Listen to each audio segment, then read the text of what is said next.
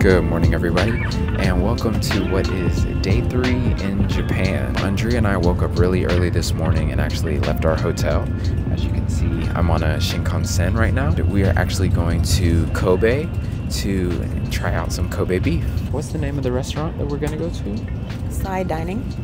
We're gonna go to Sai Dine. I don't want to call it like a luxury lunch, but the quality of Kobe is really, really high and this place is notorious for having some of the best Kobe beef that you can get. If you include walking to and from the station and time spent on the bullet train, it takes a little over three hours to get from Shinagawa, Tokyo to Sai Dining in Kobe, Japan, which is pretty awesome considering you're going to be traveling at over 180 miles per hour for quite some time. The train has Wi-Fi, so you can use your laptop and phone to watch movies or browse social media, and the bathrooms on board are very clean. So overall, traveling by rail is a great experience. It's very relaxed and convenient, but easily the coolest part about this trip is if the weather's just right, you'll get some pretty amazing views of Mount Fuji. Generally speaking, in the spring and winter is the best time to see the volcano. Otherwise, it tends to be covered by clouds. Even then, from the Shinkansen, you come to realize how truly massive this mountain is. Because oftentimes, even if most of Fuji is covered up by clouds, the very top of it tends to stick out. Once you arrive in Kobe, it is about a 400 meter walk or 4 to 5 minutes to get to Sai Dining. To be honest, we didn't spend a lot of time exploring the city, but I couldn't help but feel emotional as we walked towards the restaurant because I remember when Kobe Bryant passed in January of 2020 in that dreadful helicopter accident. I remember how shocked and saddened I was and so many others were across the globe. So I made a promise that one day we would come to Japan and eat Kobe in his honor. And as trivial as some might think this gesture to be, Sai Dining is one of the only restaurants on earth that could honor Kobe in such a memorable way. They serve award-winning A5 grade Kobe and Wagyu beef, which is considered by many to be the best in the world. Please keep in mind that this restaurant does require a reservation, which can be made either online or by calling in. We actually got there at the same time as two others, and they were unfortunately turned away because all reservations were taken. This restaurant is extremely small. It only seats 28, which is a blessing and a curse because it feels very homey, but you might have a difficult time booking it from time to time, so please keep this in mind. Our chef started us off with a delicious roast beef appetizer. It was two thinly sliced pieces of meat in a thick white sauce. As you can tell by the reddish color, they were cooked medium to medium rare. Also, I had a carrot and green starter that had a very nice dressing on it. The yellow drink that you see is plum wine, which is my sister's favorite, and my clear drink is, yes, you guessed it, apple soda. Because I'm a child. It really doesn't matter how fancy a meal I have, I'm getting some form of apple juice. It's just my vibe, okay? While we were nibbling on that, the chef went ahead and brought out the round and marble steak that we had ordered as he began preparing our vegetables and colorful salad. Andrea and I ordered course B as opposed to A because it comes with more food, including the hors d'oeuvres that you just saw and some dessert at the very end of the meal. Both steaks looked as advertised.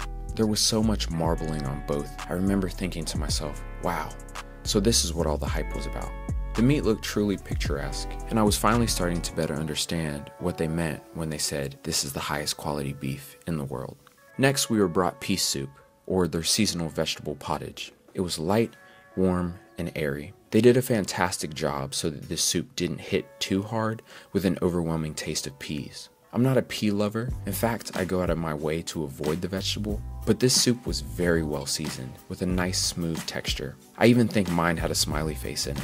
While I was slurping down my soup, our chef was preparing some grilled seasonal vegetables to go with our Kobe beef. Just so you're aware, the vegetables that Sai Dining serves change with the seasons. So whether it be winter, summer, spring, or autumn, the vegetables on your plate will always change. We came in the summer, so we were served turnip, onion, mountain potato, squash, and green pepper, all of which was nicely grilled with a slight char which was an amazing touch.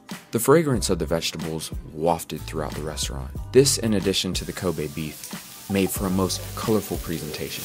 I almost didn't want to eat my food because everything looked so perfectly positioned, but I digress. Sai Dining did a great job not only selecting sides that merge perfectly with the Kobe beef, but truly showing the artistry involved in preparing such a meal.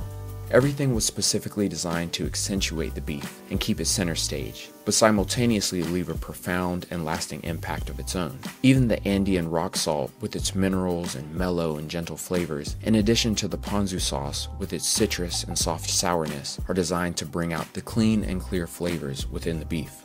And let me tell you, they succeeded at this on all fronts. I was tasting flavors I never had before.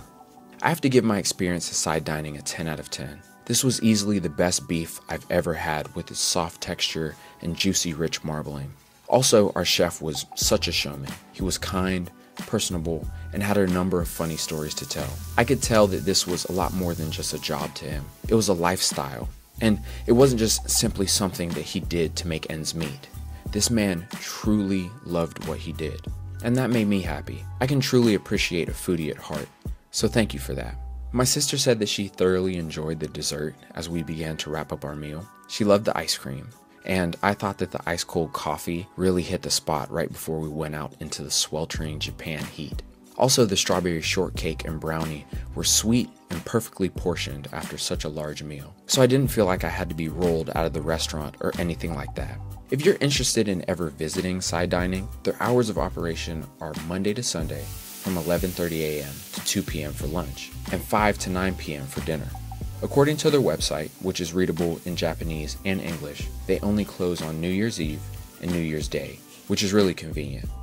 Well, I think that's all that I have for you all for day 3 in Japan.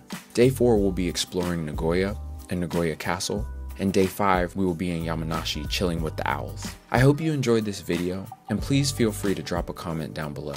I love talking to you guys. Oh, and like always, thanks for watching.